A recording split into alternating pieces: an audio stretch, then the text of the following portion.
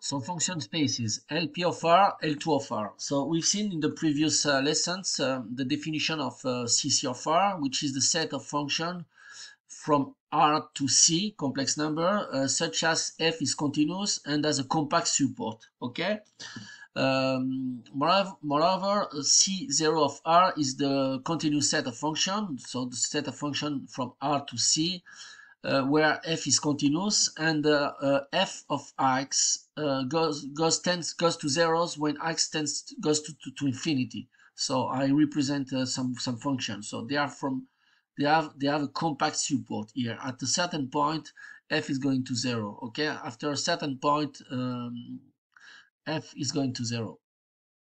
So now we will define uh, the set of LP of R, where P uh, is superior to 1.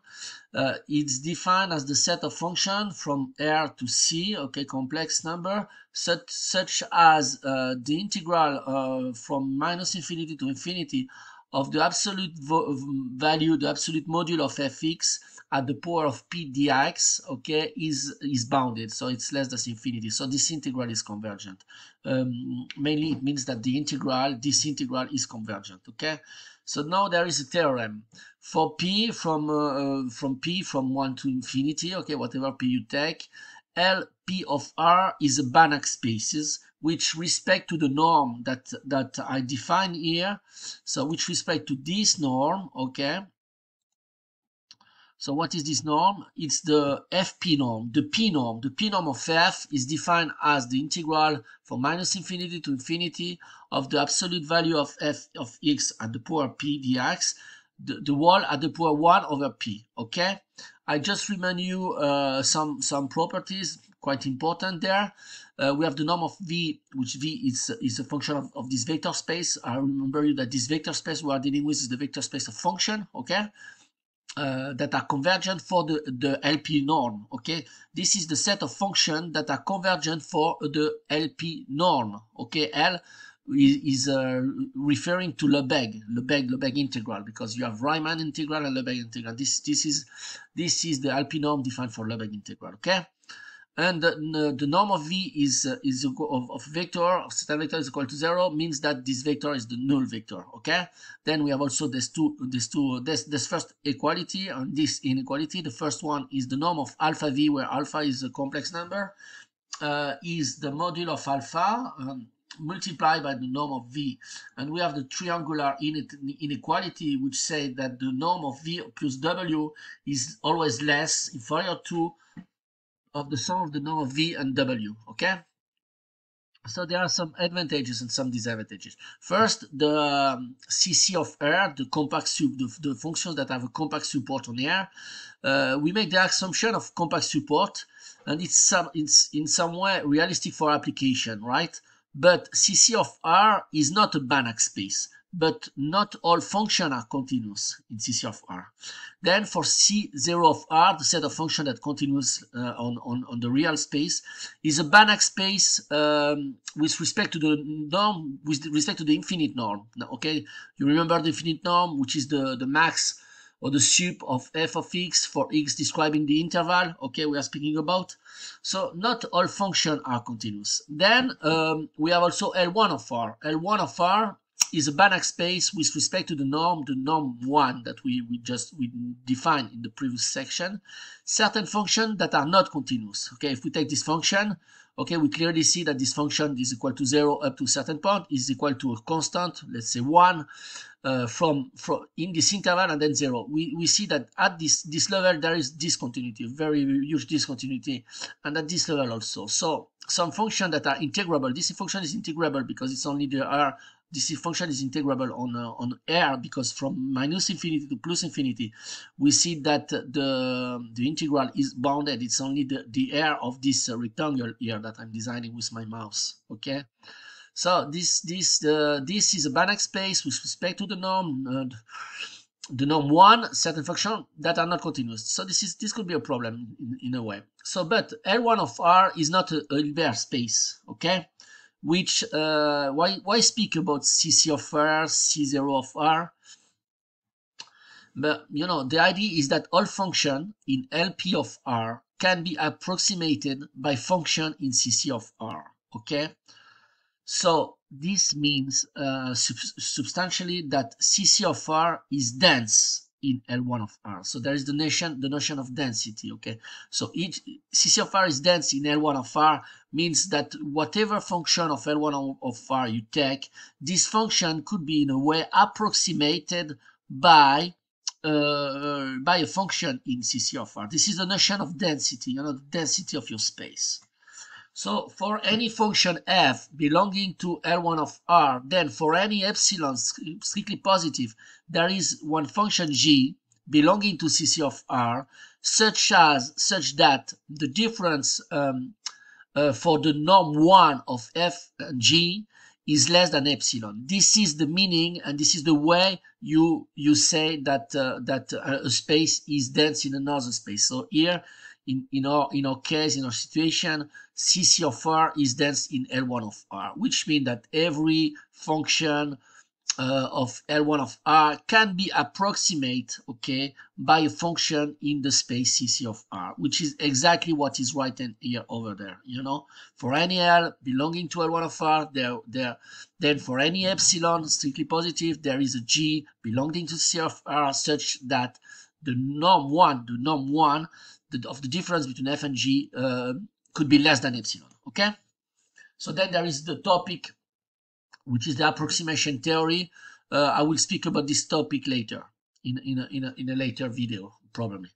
So I recall you that uh, what is an Hilbert space, okay? An Hilbert space is a vector space with an inner product, okay? This is the definition and this is the way we, we note we write the inner product, okay, inner product between two vectors, which is a Banach space, okay, with respect to the norm, the norm of V, which is the square root of the inner product from V with V with itself, okay? So I recall you the definition of the Hilbert space, and you have to, to have it clear in mind, okay? So Hilbert space is vector space with inner product, which is a Banach space with respect to this norm. Okay, and this norm can be deduced from the, the inner product in this way. So in that sense, L2 of n and natural is an Hilbert space. Now there is now comes a theorem. So L2 of R is a Hilbert space with respect to the norm that I just defined here, which is the scalar product between f and g.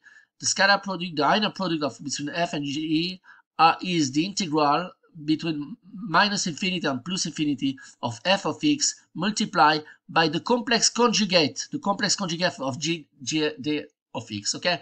And this, this theorem is very important in an Hilbert space.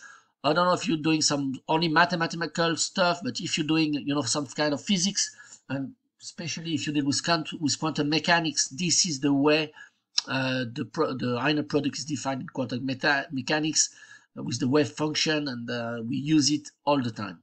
Okay, so let's prove them. So first show that uh, the inner product between f and g is well defined. Okay, indeed, uh, the uh, if we take the integral between minus infinity and plus infinity of the absolute value of the absolute module, okay, if uh, f and g have, have uh, their um, space their image in, in, in C, okay?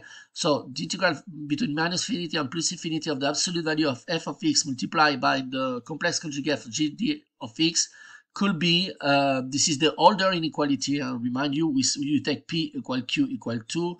Let's see my previous videos uh, if you don't remember the Hölder inequality. So, but we apply here the, the Hölder inequality with p equal q equal 2. So this can be major, can be, can be uh, uh major, yes, is inferior to the product of two integrals. So the first one is the integral between minus infinity and plus infinity of the absolute module of f of x uh, square dx at, at the power one and a half. And the second one, and this is a multiplication of course, is the integral between minus infinity and plus infinity of the absolute module of g of x at uh, square dx, the wall at the power one and a half. Okay, so so this is uh, well defined because this belongs to L2 of R and this belongs to L2 of R, okay? So this integral is bounded, okay? So this integral is convergent. So now for f, g, and h belonging to L2 of R, let's take two scalar, two complex number, alpha and beta. Let's call them alpha and beta.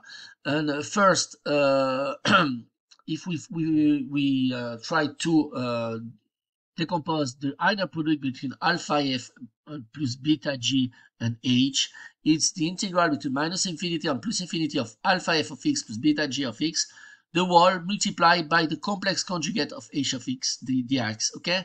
Now, from, from passing from this line to this line, you know, uh, you see that alpha and beta are, are a complex number that does not depend of the, the variable of integration dx, so they get out of the integral. Then I use the, the linearity, of course, of the integral, okay?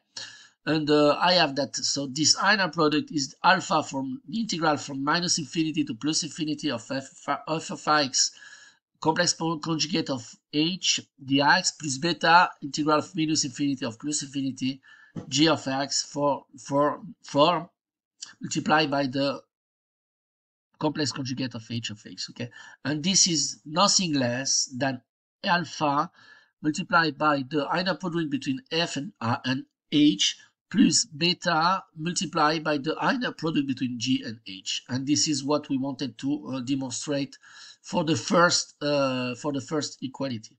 Then let's demonstrate. Let's demonstrate. You see, you see it very easily that the inner product between f and g is the complex conjugate of the inner product between g and f and, and, and, a, and f. Okay, I remember you that for two vector v and w that belong to an Hilbert space, we always have this inequality, which is the which is the the inner product between v and w is equal to the complex to the complex conjugate of the inner product between w and v okay? Now for the third inequality we have to show that the inner product between f and itself is always positive on uh, on here and of course uh, when we post this inner product we obtain we obtain the, the integral between minus infinity and plus infinity of the module of f of x square dx and this is always positive okay obviously. And then if the, eh, inner product between f and itself is equal to zero, zero complex to zero of the real number, of the complex number, then the integral between minus infinity and plus infinity of module of f of x squared dx equals zero. Okay, so it it means that f of x is is the functional. Okay. So uh, L2 of R is a Banach space with respect to the norm, the norm 2, that I remind you the definition, the norm 2 of f is the integral between minus infinity and plus infinity of the absolute value of f of x at the power of 2 dx, the one at the power one and a half. And we can derive um, the norm of f from the inner product, okay? This is very important in the calculus. So the norm of f is the inner product between f and itself at the power one and a half. So there are some problems that occur. LP of R is not an Hilbert space for P different of 2. Then uh, we are going to speak about operation on L2 of R. I recall you that uh, let T um, an operator uh, which is bounded and linear donc from L2 of R would take a function from L2 of R and, and give us back, uh, give us a function from, from in L2 of R. We define the adjoint operator T star, okay, which is the adjoint operator. If you don't remember what is an adjoint operator, that is my previous video about adjoint operator. Watch, watch, watch here, watch it. So from an Hilbert space to another Hilbert space that goes from L2 of R to L2 of R. So I remember you the definition. This is the definition of the adjoint of T, which is T star. If T star is, is the adjoint of T in the Hilbert space we are speaking about, then the inner product between the operator T applied to the vector V and the vector W is equal to the inner product between V and T star of V, T star, the operator T star applied to W. This is the definition of the adjoint operator, right? So this let's see that uh, we see it uh, there that uh, TF, the inner product between TF and G is equal to the inner product between f and t star of g. Okay, indeed, the integral between minus infinity and plus infinity of tf of x multiplied by the complex conjugate of g of x dx is equal to the integral between minus infinity and plus infinity of f of x multiplied by the complex conjugate of t star of g of x dx. So t is self-adjoint if t is equal to t star. t is unitary, I remind you, if t, t star is equal to t star t is equal to identity.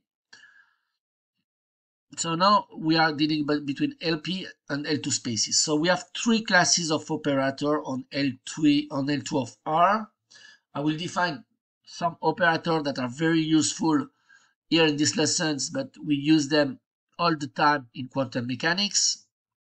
So for A belonging to R, the translation operator is defined as T and T with the uh, contravariant indice A, which, which goes from L2 of R to L2 of R, such as that the operator T and this A of F applied to X is equal to F of X uh, at the point X minus A. Okay, this is the translation operator. Then I will define the modulation operator. So, so for B real, the modulation operator is defined as, okay, let's call, uh, call it in, in, uh, uh um, in this covariant B from L2 of R to L2 of R such as that AB of F applied to X is equal to exponential 2 pi IBX f of X. Okay, this is the modulation operator. Then we define the dilation operator. Okay, dilation operator for constant C is uh, strictly positive is defined from L2 of R to L2 of R, where D and this AF apply to the at the point X, okay, in our space is equal to 1 over the square root of C multiplied by F at which point at the point X divided by C. This is the dilation operator, right? So now there is a lemma that comes from that. The operator that I just defined, TA, EB, DC, are first well defined then linear, then also bounded, and finally they are unitary, okay, which means that t, t star equal t star t equal i. So now let's prove from uh, for TA this uh, assertion. So for the first one, well defined, we must show that if f belong to L2 of R, then TAF belong to L2 of R, right?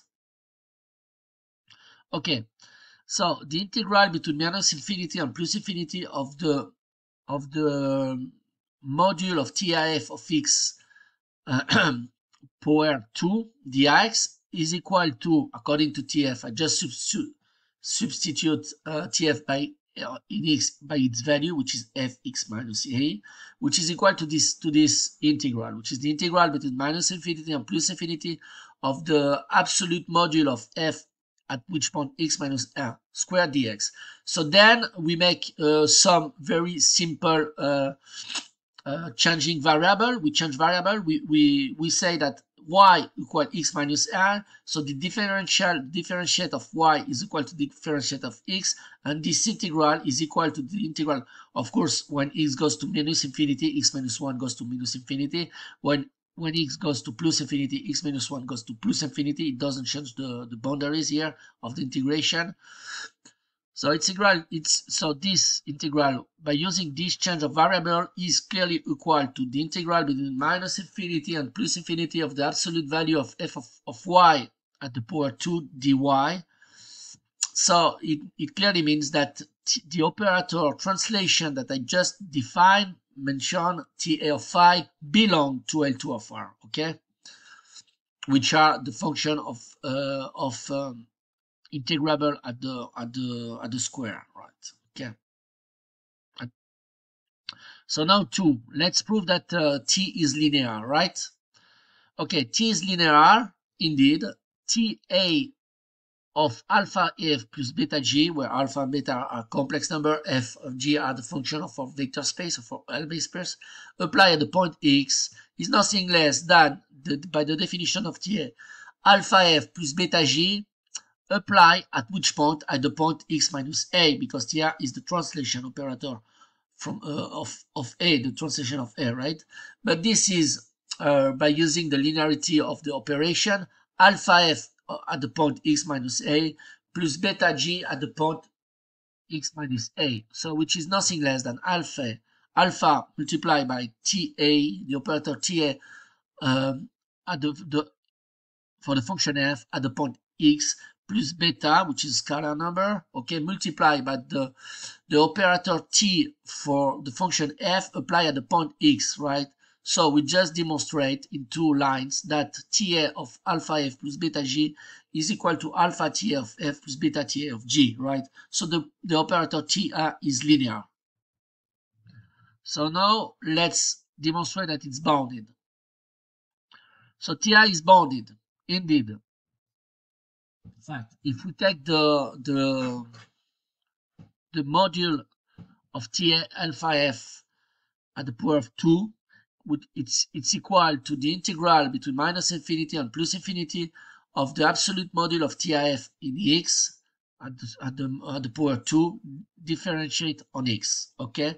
which is equal if we substitute TF on x by, it, by its definition, by, by its value, by it's equal at the integral between minus infinity and plus infinity of f at which point x minus a squared differentiate x, okay, which is equal to the integral between minus infinity and plus infinity of f of y the square dy, which is the norm of f and the square, okay?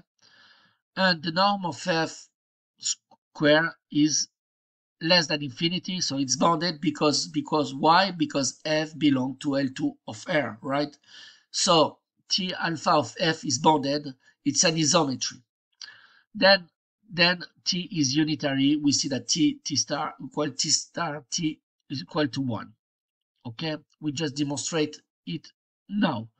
So first we must calculate t ts ts star.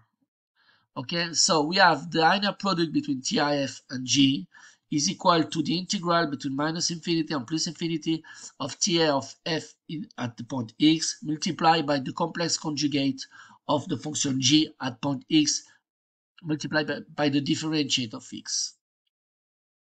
So this is equal to we substitute t of f by, by its value which is f of x minus a which is equal to the integral between minus infinity and plus infinity of fx minus a okay multiplied by the complex conjugate g of x differentiate of x which is equal to the integral between minus infinity and plus infinity of f of y multiplied by the complex conjugate of g at point y plus a dy okay?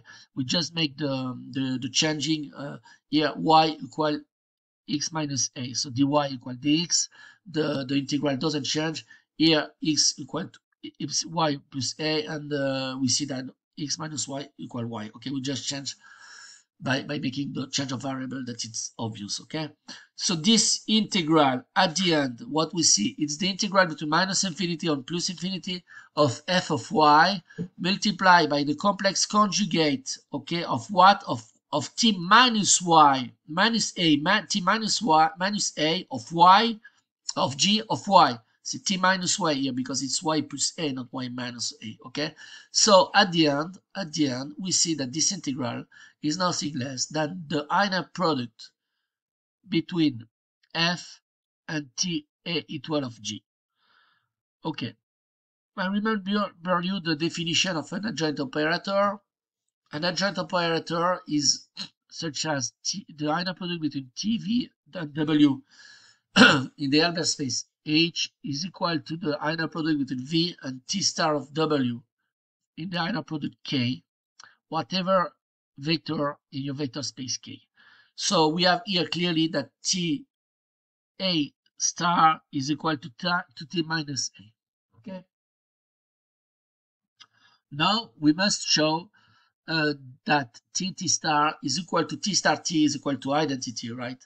So we have T and this A multiplied by t and this a star the of f applied at the point x is ta multiplied by t minus a f because t uh, star f is this from is this operator, right? Apply at the point x, but ti multiplied by t minus a f is the identity. So so it's the identity upon at the point x, the identity of f, so which is f of x.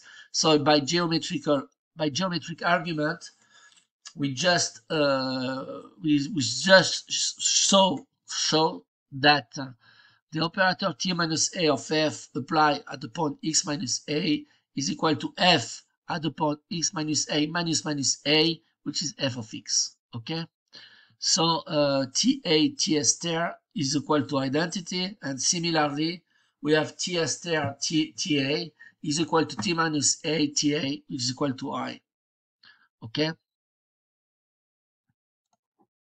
So I will now uh, give an example of the momentum operator, okay, that uh, is the momentum operator in the quantum mechanics. So P uh, is an operator from L2 of R to L2 of R, such as P of F is equal to minus I, so the complex number I, such as I square is equal to minus 1.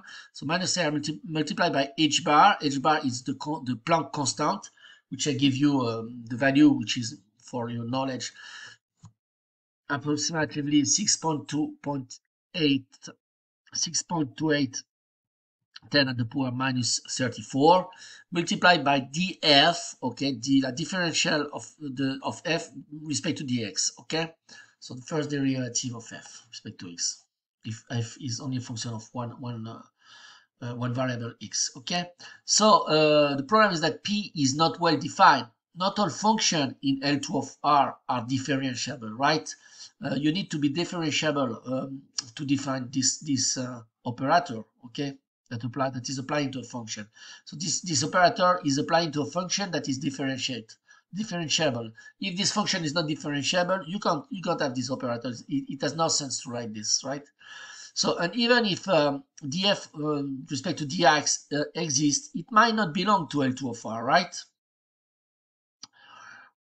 So let's uh, consider the V, the vector space, okay, the following vector space. So I define V, the, the vector space, which is the set of function belonging to L2 of R, such that the differentiable exists. So the df respect to dx exists, and the, the differentiable uh, df of respect to dx belong to L2 of R, right? And of course, f of x goes to zero as x goes to infinity. So now our operator P is uh, still the operator from V to L2 of R defined like P of F equal to minus I multiplied by the, the constant H bar, which is the, the Planck constant, uh, approximately 10 at the power minus 34, 30, 34, right? Multiplied by the differentiable of x, okay, df dx. So the problem is that P is not bounded, right? So P is self-adjoint. We see that P uh, is equal to P star. Uh, this is physics, but you can see that P equal to P star. And it does not make sense uh, here if is to write this if P uh, is unbounded, right? But if you uh, calculate the inner product of PF between PF, P of F and G, okay so two functions belonging to the vector space I just defined I just mentioned.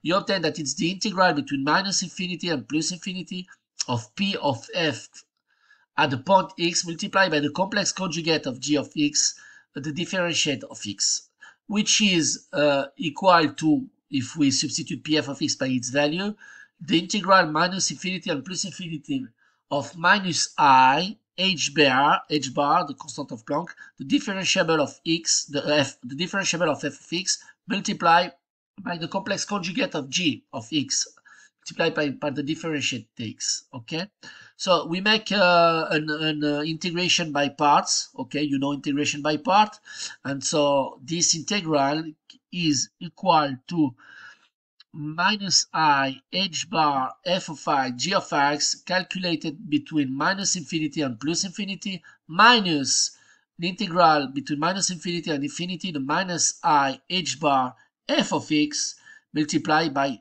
the this time the complex conjugate of g prime of x. G prime of x is the, the g of the of um, over dx, which is the differentiable of x, the differentiable of g, okay, uh, respect to x, differentiable x. So this is this is clearly equal to zero. Why? Because f and g belong to L2FR, so they are uh, uh, they have a compact support. So if they have a compact support at certain point, they are they are equal to zero. Okay, so a fortiori at infinity and minus infinity, it goes to zero. It, uh, and uh, this integral, okay, is so this this so this inner product at the end, the inner product between pf and g is equal to this integral which is the integral between minus infinity and plus infinity of e h bar f of x multiplied by the complex conjugate of g prime of x, okay? dx. So this is equal to it's just uh, so we we uh, we make the eh bar inside inside the complex conjugate. So we take the opposite of i, and uh, so this is equal to the integral between minus infinity and plus infinity of the complex conjugate of what? Of the minus i h bar multiplied by g prime of x, okay, dx. But this complex conjugate, it's the complex conjugate of what?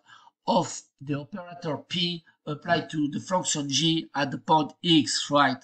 So this is the integral between minus infinity and plus infinity of f of x multiplied by the complex conjugate of the operator p applied um, at the at the apply at the function g at the point x differentiate of x which is nothing less than uh, the inner product between f and the operator p applied to g. So we just demonstrate that p star equal uh, p star is equal to p okay? We just demonstrate that the inner product between pf and g is equal to the inner product between f and pg so which should have been between f and p star of g, but p star of g is p, so p star is equal to p.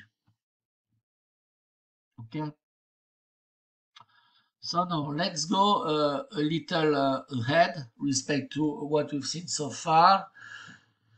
So uh, I remember you that we just defined the translation operator TF of x, which is f of x minus a, eb f of x, which is uh, exponential, bon, e, e, to pi x f of x, the which is the modulation operator. Okay, it's not written here, but you have it.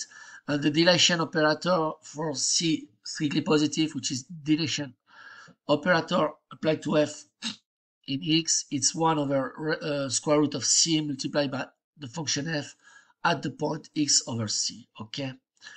So now we are speaking about some wavelet. Okay uh, the wavelet, which are the set of d, uh, g of tk applied to psi for g and k belonging to the integers.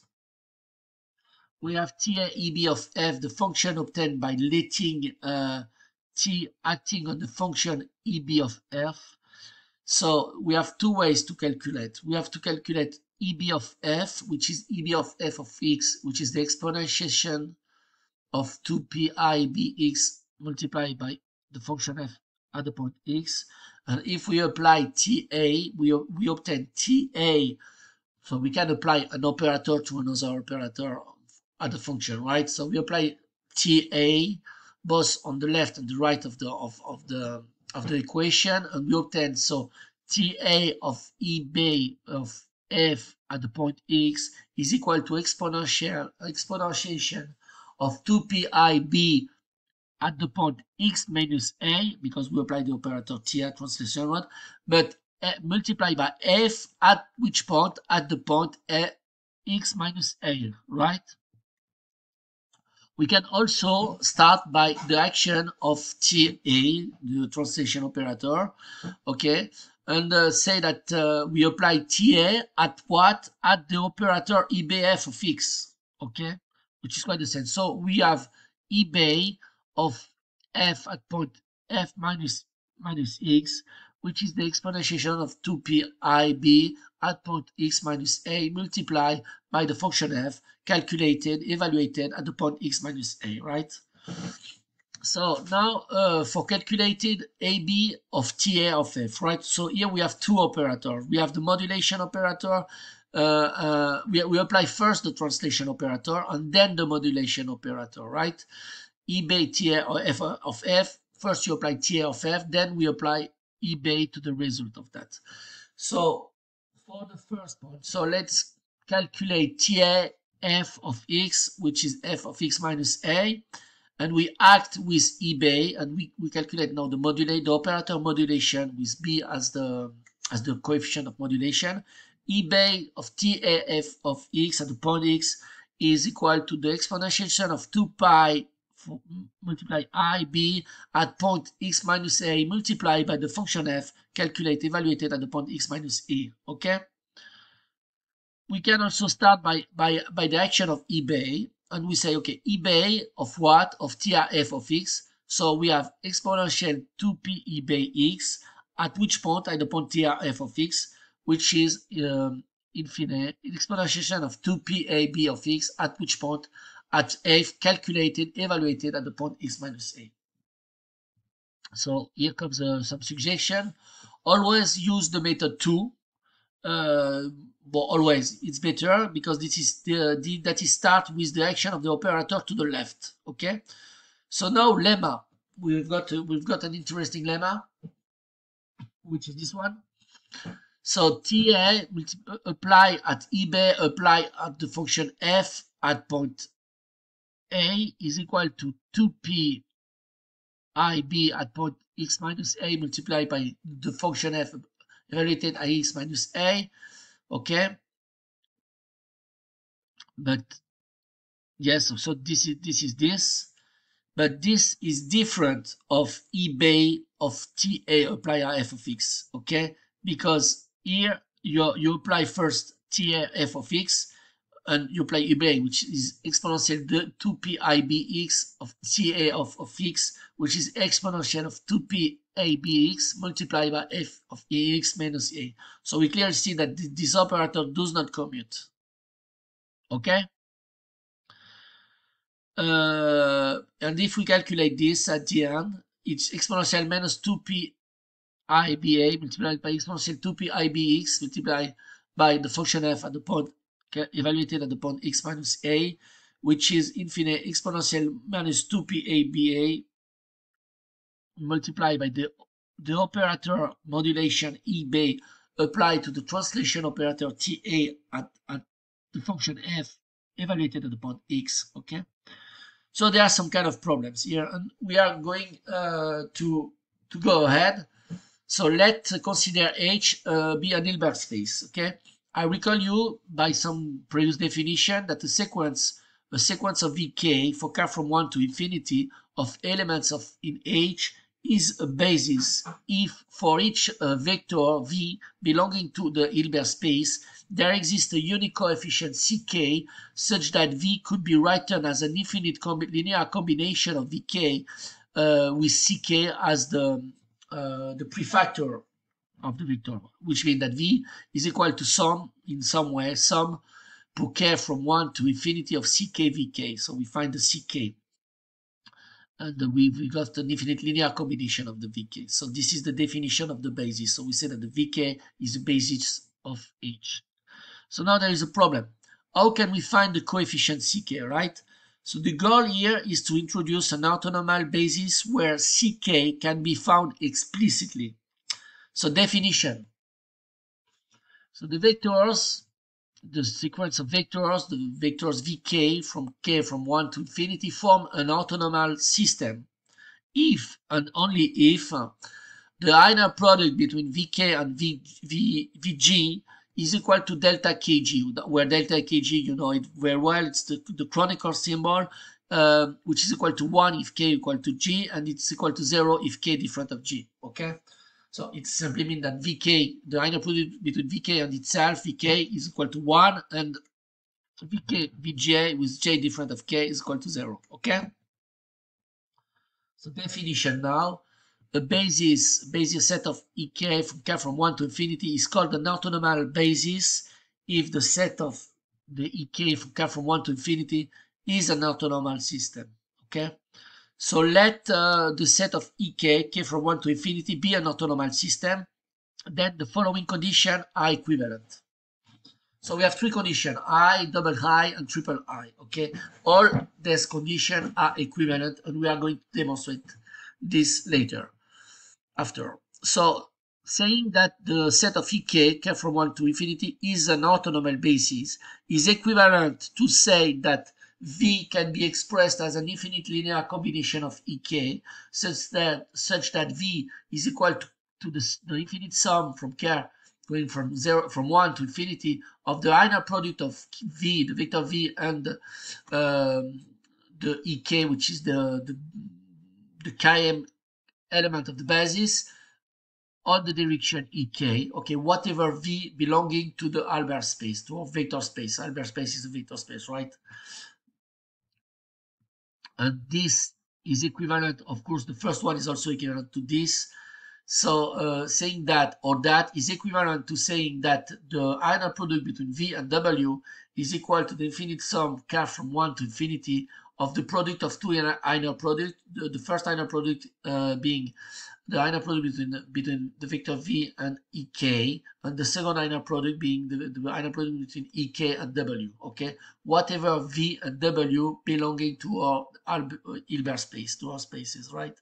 And this is also equivalent. I mean, either i or, or two i or three i is equivalent to this for is equivalent to say that the the the square of the norm of v is equal to the sum for k from 1 to infinity of the absolute value of v of the of the um, inner product between v and k at square okay? But this is also equivalent to say that v is belonging to h and the inner product between v and k is equal to zero whatever k uh, natural number. Then v equal to zero okay? So I, I, I put four, five affirmation. Okay, this is the first affirmation, the second one affirmation, the third one affirmation, the fourth affirmation, and the fifth affirmation. And I'm going to say that all of these affirmation are equivalent one with, with another. Okay? So uh, for orthonormal basis, we, we know how to choose the coefficient ck and proof. We are going to show now that i imply 2 2i that imply 3i that imply 4 uh, that imply 6 that imply 2 okay? And this we will say that they are all equivalent. So i imply 2 is okay. Okay? It's uh, there is nothing uh, special to say that it's not a mal basis it means directly this. Okay? Then uh, 2i apply 3i so the inner product between v and w is equal to the inner product between the infinite sum of k from 1 to infinity of the inner product of v and k on ek basis and the vector w. But uh, by the linearity of the scalar product, okay, we have an infinite sum, a scalar product of an infinite sum, we can get out the sum, and this is equal to the sum of k from 1 to infinity of the inner product between v and ek multiplied by the inner product between ek and w because this is a, this is not nothing less than a number scalar product okay? This is to scalar to number okay? So now let's let's demonstrate that 3 imply 4 okay? So let's demonstrate that this imply this okay? So we take for that the the norm the square of the norm of v which is the inner product of v with itself, okay, which is the sum for k from 1 to infinity of the inner product of v and ek multiplied by the inner product of ek and v, okay? But at the end, this is the, the product of v and ek by multiplied by the complex conjugate of v and ek. I did not put the sum here. So at the end, which is the which is the norm of v and ek. So this is equal clearly to the sum for k from 1 to infinity of what? Of the pro of the the the, the square of the, the, the absolute module of the inner product between v and ek. Okay? So now let, let's demonstrate that force implies 6. Okay? So we have the Hilbert space that said that uh, v the inner product between v and k equal to 0, whatever k, then by force we have that the, the, the square of the norm of v is equal to the sum from k from 1 to infinity of the absolute modulo of v and the k at the power of 2, which is the sum from k from 0 to infinity because this is equal to 0 of 0, which is 0, okay? So now let's prove that 6 imply 2, okay?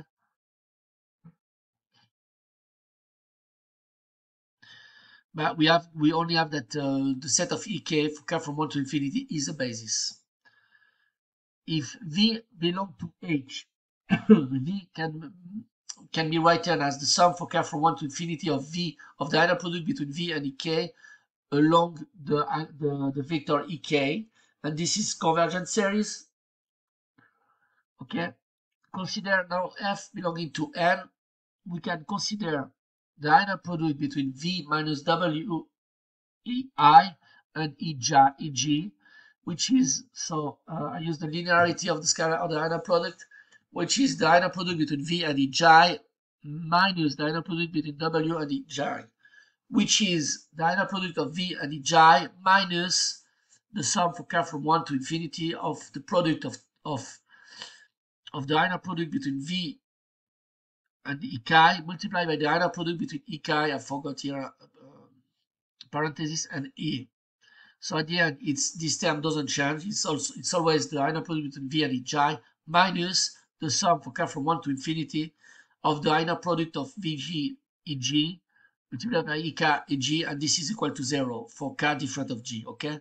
So at the end, it's equal to the inner product of minus v eg, it is equal to the to the to the opposite of the the, the inner product between vg and ej, which is equal to 0.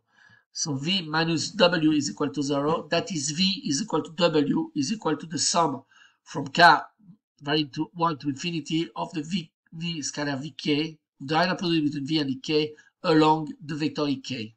So now we need to show that the coefficients are unique and uh, we need to show that v is equal to sum for k equal to 1 to infinity of ck vk which implies that ck is equal to the inner product between v and ek and, and let you this as an exercise okay so it's all for this video uh, on uh, function spaces and inner product. It's a video full of example. It's not only theory, and uh, believe me, it's very useful in quantum mechanics if you're doing uh, some quantum mechanics stuff. That's the reason why I wanted to uh, to set the basis, the mathematical basis of functional space, Hilbert space. Uh, I think I will go ahead in the next video with some lessons about the Fourier series. Okay, that's all for this video.